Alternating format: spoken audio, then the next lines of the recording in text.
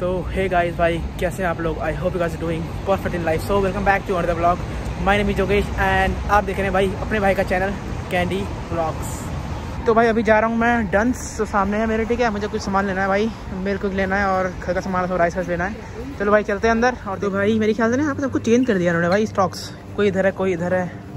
समझ नहीं आ रहा भाई मिल्क कहाँ पड़ा है इनका। चलो भाई, देखते हैं लास्ट में भी लास्ट में होगा।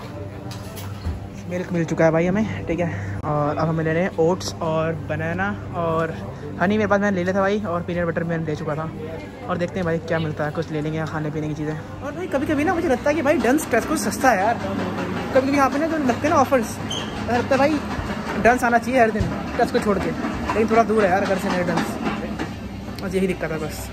और भाई अब हमें लेने हैं एक्स और हमें एक्स नहीं मिल रहे हैं यहाँ पे। यानी कहाँ पड़े हैं। और मिल गए मिल गए मिल गए। फाइनली फाइनली फाइनली भाई ये पड़े एक्स चलो भाई देखते हैं। तो यहाँ पे ना वैरायटी बहुत है हर चीज़ की यार। देखना पड़ता है भाई कौन से क्या लेना है। चलो भाई लेता हूँ मैं करता हूँ। अपडेट तो भाई सामान वामान ले लिया भाई हमने डन से। अब जाएँगे घर खाना बना खाना बना बनाते हैं भाई। आज सुबह से कुछ भी नहीं खाया सही तो भाई भाई इस ब्लॉग में बात करेंगे हम भाई ठीक है? कि अकोमोडेशन का बहुत दिक्कत चल रही है भाई। बहुत लोग अभी पैसे डाले मेरे पास चाहिए कैसे फाइंड करें भाई? क्या तरीका है फंड करने का? क्या ट्रिक व्रिक है ठीक है? और दूसरा भाई वीज़ा के मेन रीजन जो होते हैं भाई रिजेक्ट होने के वीज़ा ठीक है? और भाई अगर वीज़ा चाहिए तुम्हें तो क्या तुम्हें करना है? तो ये भी बताऊँगा ठीक है? चलो भाई कर बताता हूँ। भाई तुम्हें अकोमोडेशन के बारे में भाई देखो मैंने पहले ही बताया हुआ है दोबारा बोलूँगा भाई अकोमोडेशन का भाई बहुत चल रहा है यहाँ पे अभी क्राइसिस की फाइव इंटेक आ चुका है ठीक है? स्टूडेंट्स आ रहे हैं और स्टूडेंट को घर नहीं मिल रहे हैं। तो भाई इंडिया से ना बता रहा हूँ भाई जो लोग बोलेंगे डाफ में चेक करो उसमें करो भाई कोई फ़ायदा नहीं है कोई रिप्लाई नहीं करता मैं बता रहा हूँ मैंने बहुत ट्राई किया भाई मैंने अराउंड सौ मेल किए थे मुझे एक भी रिप्लाई नहीं आया ठीक है? और भाई जो उसका मेन जो ट्रिक है भाई वो सुनो यही है कि भाई जब ना अगर तुम्हारा कोई रेफरेंस है यहाँ पे कोई दोस्त है तो भाई, पहला तो भाई उनसे बात करो, क्योंकि ना, कि भाई बता रहा हूँ, जो बंदा से रह रहा हो दो साल से तो उसके कितना उस तो होता ही अकोमोडेशन ठीक है? वो तुम्हें रख लेगा टेम्प्रेरी दूसरा। और दूसरा भाई इंडियंस इन लिमरिक या फिर इंडियंस इन आयरलैंड भाई, एक ग्रुप है फेसबुक में, वहाँ पे डालो भाई अकोमोडेशन के बारे में। तो भाई मैं बता रहा हूँ, वहाँ पे भाई तुम्हें 200 परसेंट लीड मिलेगी, बता रहा हूँ। चाहे फैमिली वाला मिले बट मिलेगा। और भाई ले लेना, ठीक है? शुरू में मैं सोच रहा कि मुझे फैमिली के साथ मिल रहा है। भाई, जो मिल रहा है शुरू में ले लो, कि बाद में जब तुम सेटल हो जाओगे, फिर तो तुम्हें भाई कुछ ना कुछ आपस में मिल ही जाएगा, अपने दोस्तों के साथ। तो भाई, जो मिल रहा है फाइनेंशियली ले और बाकी भाई अकोमोडेशन देखा तो सामने हमारा घर है भाई, जो सामने वाला है। हमारी भाई, किस्मत थी, हमें मेन सिटी में मिल गया घर। भाई, क्या ही मतलब एक छोड़ा दूसरा मिल गया, इसे किस्मत ही बोलते हैं भाई। यहाँ तक घर मिलना बहुत मुश्किल है, वो भी अपार्टमेंट जो हमें मिल गया सामने हमारा। चलो भाई, चलते हैं घर, खाना बनाता हूँ, दिखाता हूँ, ठीक है, फिर। तो गई भाई खाना वाना खा लिया है ठीक है? आज भाई बनाया था हमने एक भुर्जी और रोटी दिखाया था बाहर से हमने हमने खा चुके हैं ठीक है? और अभी मैं फ़िलहाल करता किचन साहब इस थोड़ा से थोड़ा टाइम लग गया भाई। चलो भाई फिर अभी जा रहा हूँ मैं सोने के लिए और कल हम बात करेंगे भाई वीज़ा के मेन रीजन फॉर जो होते हैं मतलब जो स्टूडेंट करते हैं गलती से होता है मेन आता है रिजेक्शन आता है ठीक है? और, और एक ट्रिक बताऊँगा जिससे तुम्हें वीज़ा तुम्हारा हंड्रेड अप्रूव होकर आएगा ठीक है? चलो गाइस मिलते हैं कल. Till then guys bye good night तो गाइस भाई, क्या हालचाल? गुड मॉर्निंग स्वागत है भाई एक और नए दिन में, ठीक है? चलो भाई, अभी जस्ट उठाऊँ ब्रेकफास्ट करते हैं और फिर अब निकल देंगे जिम और आज मेरा है पार्ट टाइम फिर हम बात करते हैं, ठीक है? फिर हम बात करते हैं भाई, जो वीज़ा की मेन रिजेक्शन के बारे में, ठीक है? चलो। तो भाई, मैंने अभी बोला ना ब्रेकफास्ट करके तो भाई अभी टाइम हो रहा है, दिन के तीन बज रहे हैं, ठीक है? वो पिछले ये कह रहा था। तो भाई, हमारे तो मॉर्निंग ही है ना तो हम तो जो भी खाना खाएँगे ब्रेकफास्ट ही हुआ। तो भाई, चलो यही बात है हज़रत चलो भाई, फिर खाता हूँ मैंने प्रोटीन चेक पीता हूँ और फिर निकलता हूँ जिम के लिए, ठीक है? फिर रास्ते में बात करते हैं हम, चलो। तो गई चलो मैं खाली बैठा था तो चलो एक रीजन की बात अभी कर लेते हैं ठीक है? जो पहला भाई फोरमोस्ट जो फ़र्स्ट एंड फोरमोस्ट रीजन होता है ना कि वीज़ा होता है रिजेक्ट तो स्टूडेंट क्या गलती करते हैं भाई? वो लोग फॉल्स इन्फॉर्मेशन डालते हैं भाई एम्बेसी में। मतलब फॉल्स इन्फॉर्मेशन भाई मैं, मैं बोलना चाहता हूँ कि कुछ भी होता है कि बैंक में जो अमाउंट होता है वो गलत दिखाते हैं या फिर बाद में जो दिखाते हैं वो निकाल देते हैं बाद में। तो भाई ऐसा मत करना ठीक है कि वो बैंक वाले भाई सॉरी एम्बेसी वाले दोबारा करते हैं वेरिफिकेशन अमाउंट की।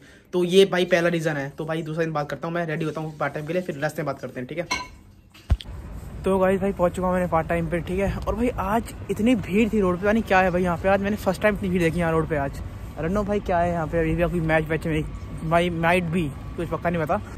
तो भाई, एक और बताता हूँ रीज़न क्या होता है, ठीक है ना? कि लोग स्टूडेंट्स क्या करते हैं भाई, अपनी जो होता है ना कि जो उन्होंने पहले कोर्स किया है बैचलर उस गलत कोर्स चूज़ कर लेते हैं। भाई एम्बेसी का लगता है कि भाई, ये तो भाई पढ़ने नहीं जा रहा है, कि वहीं पीआर लेने जा रहा है तो पीआर लेके सिर्फ़ वहीं वहीं सेट हो जाएगा। वही एक और रीज़न है, ठीक है? वीज़ा होने होने का। तो गाइज़ भाई निकल गया पार्ट टाइम से। वैसे मैं रास्ते में मुझे भाई सौरभ मिल गया था। कुछ खाने आया तो मैं इसके साथ बैठ गया, ठीक है? अभी हम जा रहे हैं फ़िलहाल घर और अब हम बात करते हैं भाई। मैंने आई थिंक दो रीज़न बता दिए हैं, ठीक है ना? कि वो होते हैं वीज़ा रिजेक्ट तीसरा रीज़न बताता हूँ अभी, ठीक है, आप लोगों को? तो भाई, एक रीज़न बताता हूँ और, ठीक है? मतलब दो जाती है, तीसरा रीज़न होगा ये कि, पता है कि लोग स्टूडेंट्स क्या करते हैं? पूरे अपने डॉक्यूमेंट सबमिट नहीं करते हैं। जो एमएससी ने डाली चेकलिस्ट भाई, पहले उसको चेक किया करो भाई डीएफए पे इनकी जिनकी चेकलिस्ट है पूरी तो उस हिसाब से डॉक्यूमेंट सबमिट करते हैं। मतलब करना स्टूडेंट्स करना भूल जाते हैं भाई, सारे डॉक्यूमेंट सबमिट करना, जो एक और रीज़न बन जाता है वीज़ा रिजेक्ट होने का। और ये भाई बहुत केस में यही होता है। कि एम्बेसी डॉक्यूमेंट मांगती है बट डॉक्यूमेंट को डॉक्यूमेंट को मिलता नहीं है। तो फिर वो वीज़ा डायरेक्ट करते हैं रिजेक्ट क्योंकि वो लोग फ़ोन नहीं करते हैं भाई स्टूडेंट वीज़ा में, कि दोबारा सबमिट कर दो डॉक्यूमेंट तो ये भी एक रीज़न है। तो गाइज़ भाई, आ गया हूँ घर। कपड़े वपड़े चेंज कर लिए हैं। टाइम हो गया भाई सोने का। लेकिन भाई, आज ये ब्लॉग खत्म कर जाऊँगा, ठीक है? दो बताऊँगा। तो ये चौथा पॉइंट है भाई। तो भाई, ये पॉइंट भी भाई बहुत इंपॉर्टेंट है। देखो भाई, क्या होता है ना, सबसे गलती होती है। ये गलती बहुत सही है भाई। मेरे मैंने बहुत सारे कमेंट आए भाई इसके लिए में, ठीक है? क्या होता है? स्टूडेंट सारे डॉक्यूमेंट तो भाई बिल्कुल परफेक्ट डालते हैं, ठीक है? गलती क्या करते हैं कि जो एम्बेसी ने अमाउंट दिया होता है ना अपने अपनी साइड पे कि ये अमाउंट नेसेसरी तुम्हारे अकाउंट में होना ही चाहिए स्टडी स्टूडेंट वीज़ा को स्पॉन्सर करने के लिए, जो भी तुम्हारा होगा स्पॉन्सर तो भाई, जितना अमाउंट होना चाहिए, उससे कम होता है, लेकिन वो अपनी वही सेम बैंक स्टेटमेंट डाल देते हैं एम्बेसी में। लेकिन भाई, जब वो चेक करती है एम्बेसी की इनके अकाउंट में इतना ही पैसा है, लेकिन इतना मिनिमम होना चाहिए और वो होता नहीं है तो भाई मेजर रीज़न है भाई ये इससे वीज़ा होता है रिजेक्ट और ये भाई इसके बहुत केस आए मेरे पास भाई, जो लोग ने यूट्यूब पर कमेंट किया कि मैं हमारा वीज़ा फाइनेंशियल डॉक्यूमेंट की वजह से रिजेक्ट किया उन लोगों ने, ठीक है? तो इसे भी ध्यान देना कि अराउंड आठ लाख के आसपास भाई अमाउंट होता है कि आपको दिखाना दिखाना है, ठीक है? और जितना अमाउंट हो सके ना भाई दिखाओ, बता रहा हूँ, जितना हो सके दिखाओ। अब बताऊँ उसके बाद दो ट्रिक है मेन ठीक है? तो guys I think I covered all the major points जो कि आई थिंक मेन रीजन है भाई वीज़ा होने वीज़ा होने के रिजेक्ट स्टूडेंट से, ठीक है? और भाई अब तो बताऊँगा तुम्हें मैं जिस पॉइंट के लिए तुम लोग वेट कर रहे हो भाई। लास्ट जो ट्रिक है भाई वीज़ा अप्रूव करने की, ठीक है? बताइए बता दो वो क्या है भाई, देखो, सुनो। भाई आयरलैंड का वीज़ा स्टूडेंट वीज़ा ना भाई, बता रहा हूँ। सब सब मतलब जो उस पर डिपेंड करता है, वो है भाई फाइनेंशियल्स भाई अगर तुम्हारा फाइनेंशियल स्ट्रांग है तो भाई तुम्हारा वीज़ा डेफिनेटली आना ही आना है भाई, ठीक है? मेरे पास का केस भी है एक। मेरे फ्रेंड ने अराउंड साठ लाख के इस पर दिखाया था भाई अकाउंट में, उसका वीज़ा पाँच दिन में आ गया था भाई, ठीक है?